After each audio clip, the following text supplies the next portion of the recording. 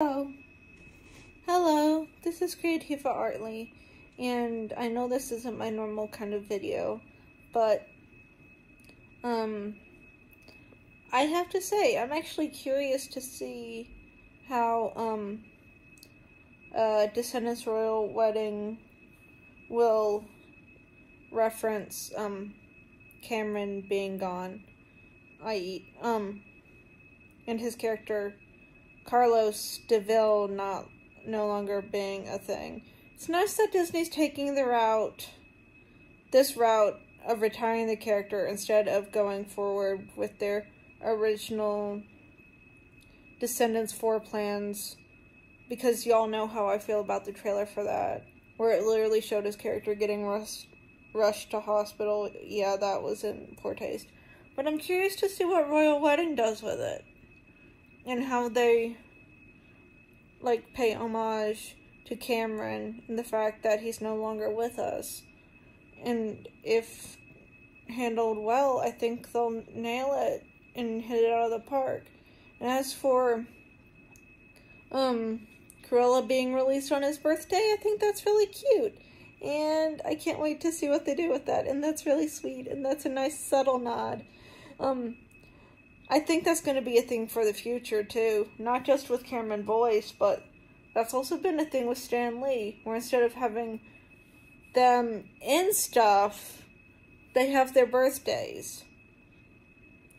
And yeah, going forward, that will be a cool like Easter egg.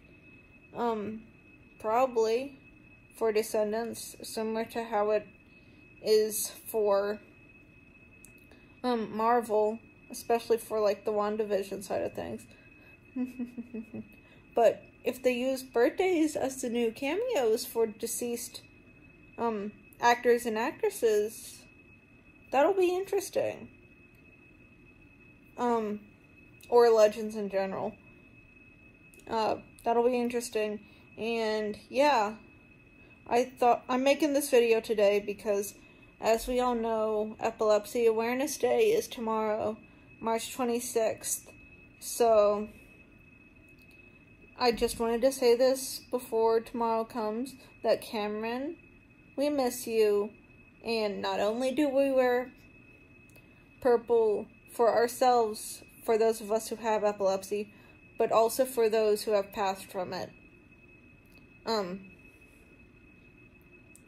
so we wear it for you, we wear it for Craig Tester's son, and yeah, SUDEP's a real thing, and it takes lives, sometimes too soon, and it's a shame, but yeah, I can't wait to see what um they do with Royal Wedding, and I can't wait to see how they pay homage to him in that, and I can't wait to see if they do any other homages to him in Cruella, or if it's just the date.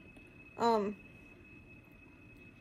uh, and yeah, to the rest of the people in the epilepsy community, let's have a great purple day tomorrow and let's purple out together for our, ourselves and for um, those who have passed away from SUDEP in memory of them. So until next one, happy purple day. Um, come tomorrow and adios.